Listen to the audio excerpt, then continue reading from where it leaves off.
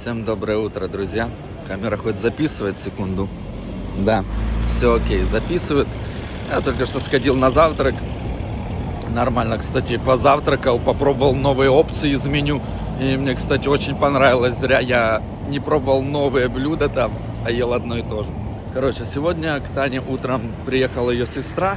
Ну, у Тани есть двоюродная или троюродная сестра. Я не понимаю в этих всех э, определениях родственных связей, поэтому всегда путаюсь. Родных из сестер, братьев у Тани нет, у нее есть двоюродные или троюродные братья сестры. Ее сестра проживает э, в Соединенных Штатах Америки. Уже э, очень давно, с детства она там училась, уже гражданин. Вот она приехала в Европу к родственникам и заехала к Тане, конечно же. Ее сестра смогла привезти Тане некоторые ее вещи. Короче, там запутанная история, как эти вещи добирались вообще сюда. Помните, Таня когда-то в Барселоне купила такую большую сумку черную Гуччи? Короче, это был мой подарок для Тани. И, блядь, только что, пока я сидел в заведении, Таня мне скидывает фотку. Я просто охуел. Таня ее практически не носила. И она всегда очень аккуратно относится к своим вещам, очень бережно. Блять, бедный воробушек, смотрите.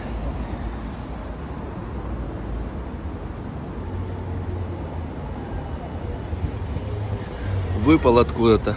С сумкой произошло то, что она на вид как будто, я не знаю, из бучи или сырпеня, сырпеня. Как будто ее из-под завалов достали. Короче, пришел я домой.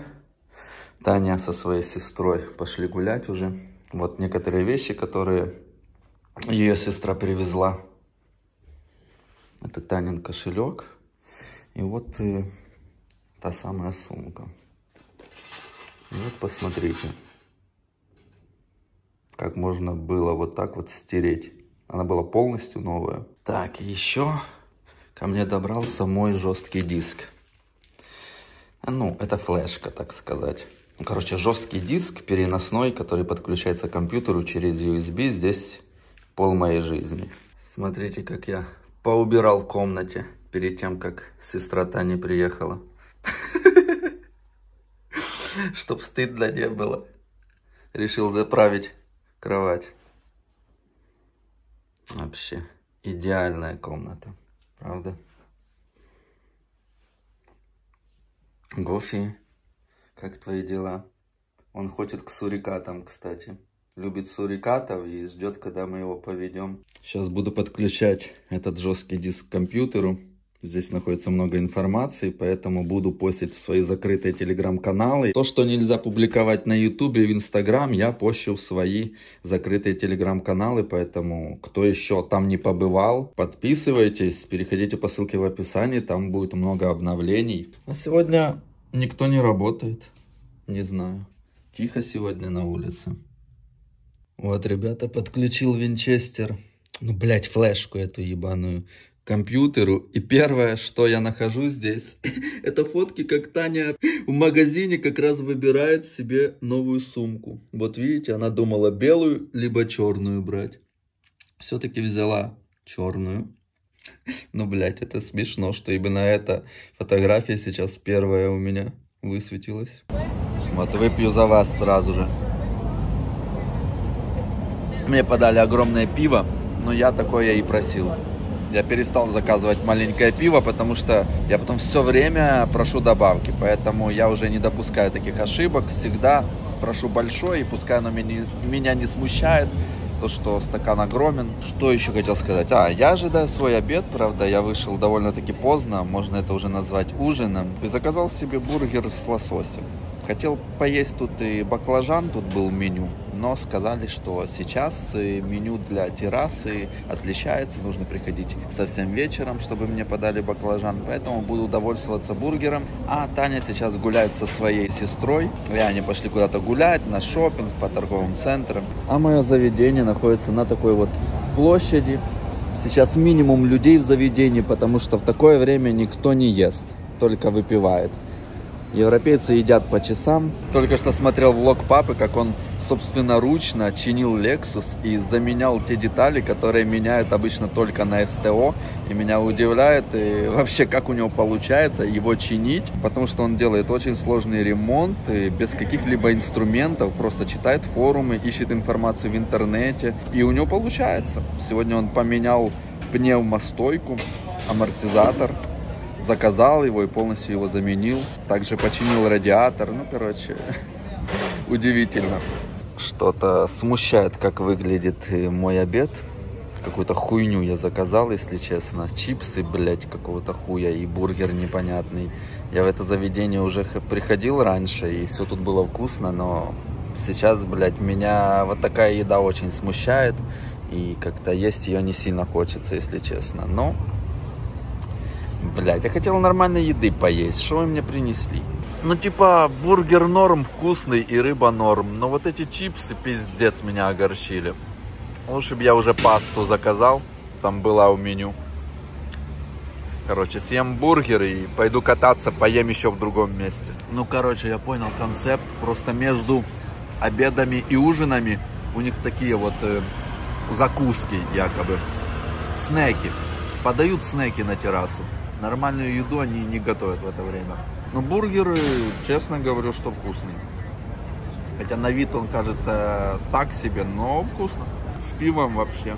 Залетает на ура. Пообедал я, но, честно признаюсь, я ни хрена не наелся. Чипсы я потом все-таки начал есть, потому что ты сидишь, пиво попиваешь и типа берешь мимовольно эти чипсы.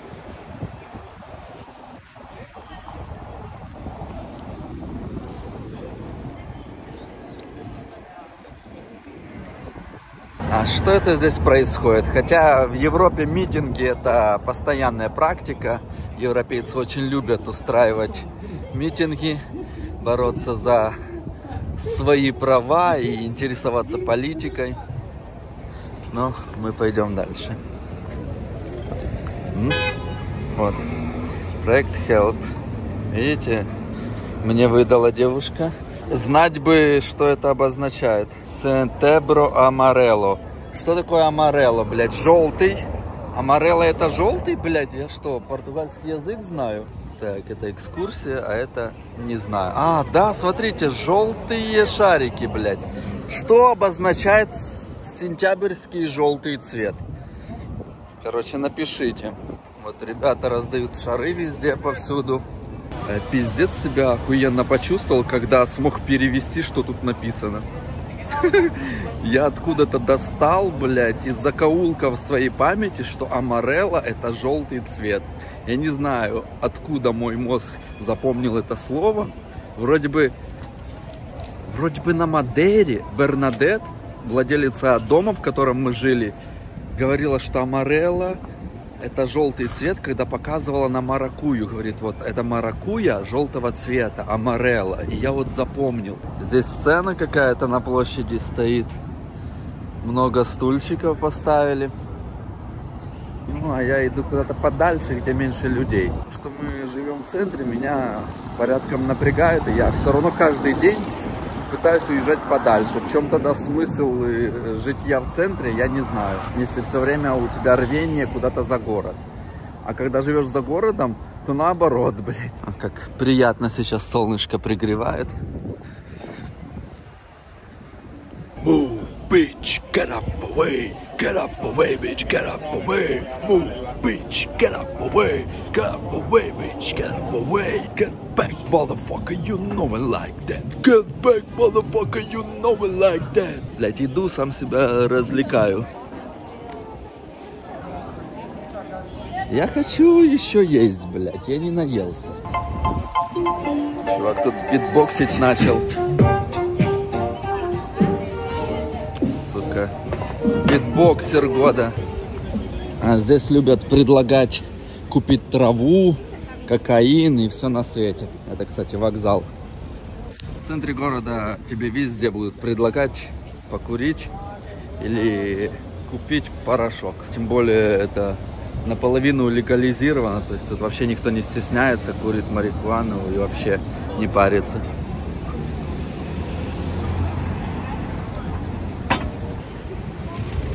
Какой броменс, смотрите. А, как хорошо. Кататься на одном самокате. Не получилось, Ух, как жаль. Один едет, второй догоняет. Это как в детстве. У одного есть человека во дворе велика, все другие за ним бегают просто. На меня смотрят, что я людей снимаю, блядь. И возмущенные взгляды на меня бросают. Типа, какого хуя ты вторгаешься в личное пространство людей? Я как быдло какое-то хожу и людей снимаю. И обсуждаю их. Человек, который, знаете, за толерантность, и при этом, блядь, сука, снимает других людей и обсуждает их. Я конченый противоречивый человек. Двойными стандартами. Короче, мне, блядь, так лень куда-то вообще идти. Меня так бесит этот центр города и толпу людей. Сейчас развернусь, пойду домой. Мы на вокзале, кстати. Этот вокзал красивый, я вам уже его показывал. Вот. Смотрите, как красиво на вокзале.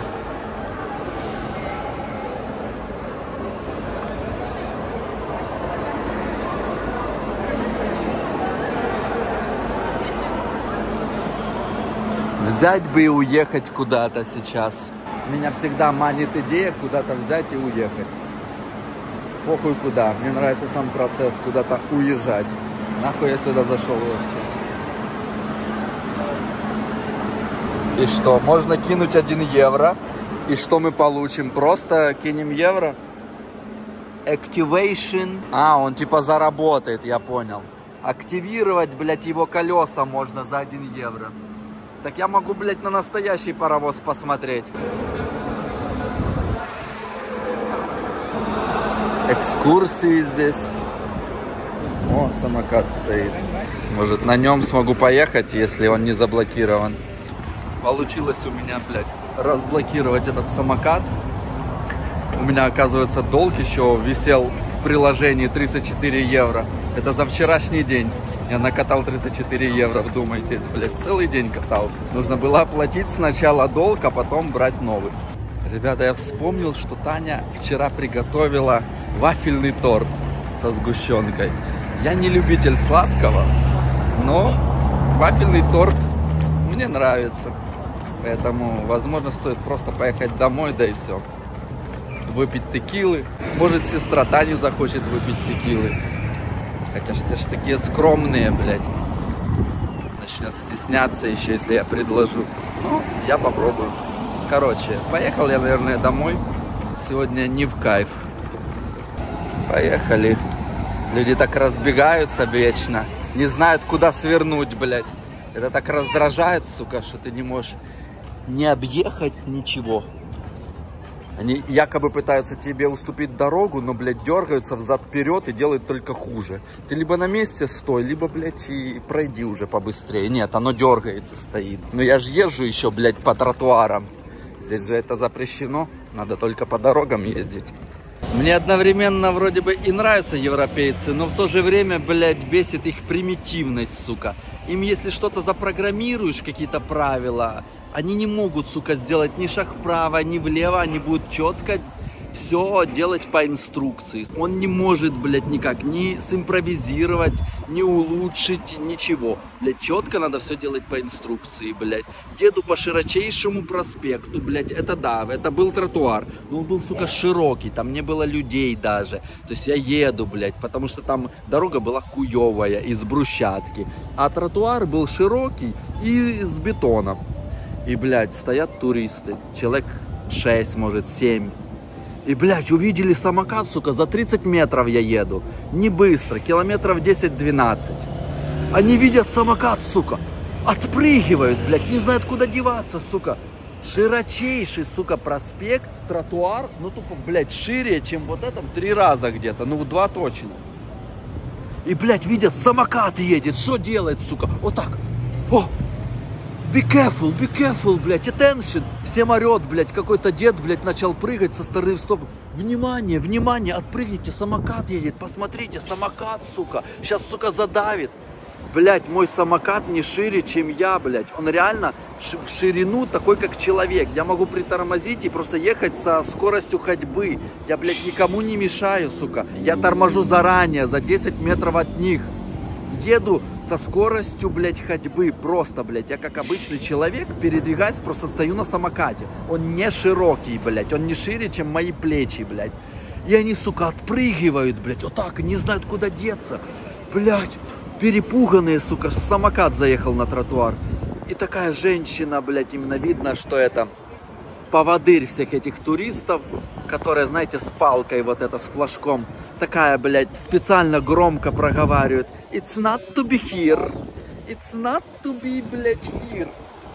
Специально, типа, знаете, чтобы меня, типа, как это слово, пристыдить, вот чтобы я пристыдился, чтобы я, что я еду по тротуару. А то же места не хватило. Широченный тротуар, они начинают, блядь, с одного конца бегать в другой, потому что, сука, самокат едет. Как будто Боинг на посадку идет.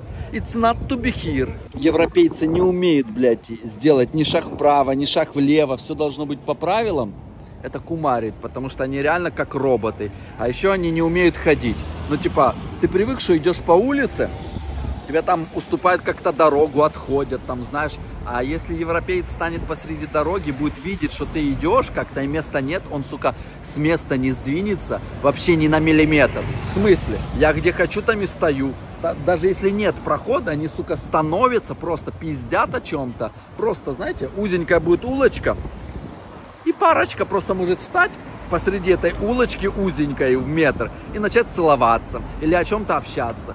Будет миллион людей стоять в очереди, чтобы пройти просто по улице. Они, сука, с места не сдвинутся. В смысле? Это такая же ваша улица, как и моя. Где хочу, там и стою. И никто, сука, претензий никакой не скажет. И еще они так, блядь, как-то медленно ходят. Они боятся. В смысле? Ты им навстречу идешь, они, блядь, не знают куда. Вот так. Сука, ты отойди либо вправо, либо влево. Либо просто плечи подвинь свои. Это я уже привык к этому. Я, блядь, много по Европе путешествовал, и уже, блядь, привык, что люди в Европе не умеют, сука, ходить по улицам. Они, блядь, не знают, куда, блядь, перебежать. Вот если у тебя хоть чуть-чуть э, темп движения быстрее, чем у них, все, они, сука, боятся. Они не знают, куда идти в сторону. Ты, сука, не можешь их обойти никогда. Они как-то идут, блядь, занимают всю ширину дороги. Вам кажется, что, может, я говорю полный пиздец, полный бред, на что я вообще обращаю внимание?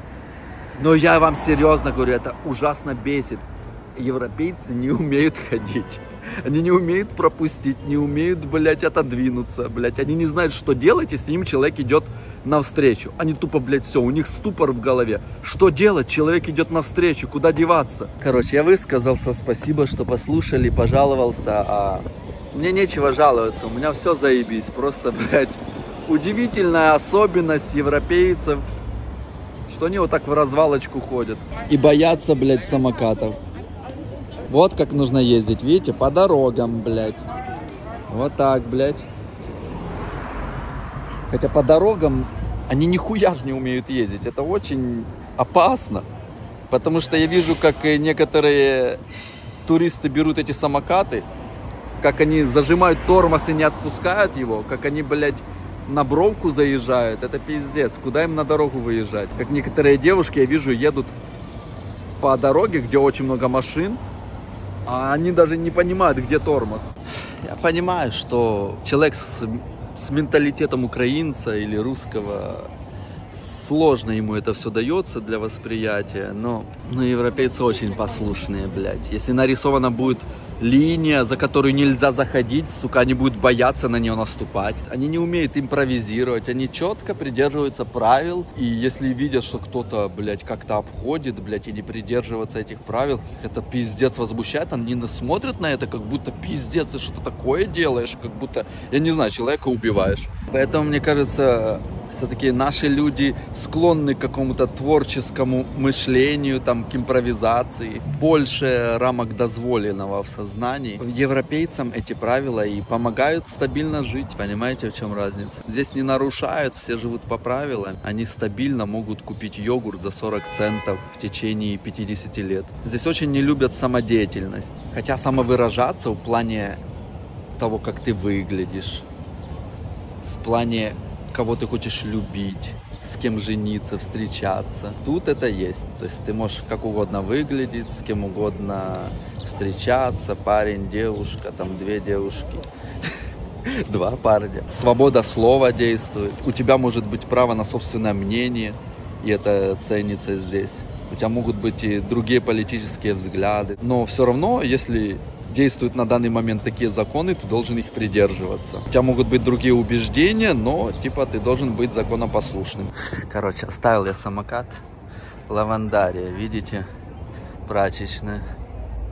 Очередная. Их тут много, кстати. Опять самокат начал выебываться, что я не мог его оставить на парковочном месте. Попросил меня поехать на другую парковку, которая гораздо дальше. Ну хорошо, что хотя бы там я смог оставить. Здесь у меня сегодня все. Перехожу, блядь, дорогу на красный свет. Я иду и все еще продолжаю думать на тот счет, насчет всех этих правил, как люди здесь живут. Коноплей завоняло. В таких переулках особенно. Идешь, именно такой шмон стоит. Я подумал о том, что в обществе, в котором все придерживаются правил, так или иначе, все-таки ты себя будешь чувствовать защищенней, возможно, и, может быть, в чем-то уверен, потому что ты знаешь, что все придерживаются этих правил, и их стараются не нарушать. А вот там, где их не придерживаются, ты не знаешь, чего ожидать, блядь. С одной стороны, вроде как и хорошо, а с другой стороны, ну нельзя же быть роботом с прошивкой. Просто у них это как-то из детства заложено, что нужно слушаться. И вот нужно быть законопослушными, блядь, ни шаг вправо, ни шаг влево. А как же будет какое-то критическое мышление или как можно что-то новое изобрести. Но, тем не менее, здесь можно митинговать и отстаивать свою точку зрения. Но пока твоя точка зрения и твои желания не внесены в список дозволенного, ты должен придерживаться тому, что сейчас актуально. Все, ребята, я дома. И, кстати, ситуация с этой сумкой прояснилась. Провели расследование. Оказывается, блядь, эту сумку повредил перевозчик. Эта сумка находилась в чехле, потом еще в одной сумке и в чемодане. И чемодан был сдан в багаж. Вот в этом чехле сумка находилась. И мы уже потом увидели, смотрите, что чехол также протерт. И оказывается, что и чемодан протерся. Вдумайтесь, где чемодан мог застрять, на какой ленте, в багаже, там на сортировочном каком-то ангаре, где багаж ваш сортируется по самолету, именно Танин чемодан застрял где-то, именно трение пришлось, блядь, на край Таниной сумки. Вдумайтесь, как ей повезло, что именно этот чемодан застрял. Могло протереться что угодно, вдумайтесь, там была не только сумка, там были крема, там были кроссовки, то есть могли протереться кроссовки, к примеру. Но нет же, блядь, протерлась именно самая дорогая вещь в чемодане. Поэтому ценные вещи всегда берите вручную кладь с собой, и это же ничего не докажешь, потому что дорогие вещи нужно по правилам декларировать. Если вы их не задекларировали, то никто вам ничего не компенсирует. Ну, слава богу, что это при транспортировке, а не кто-то испортил.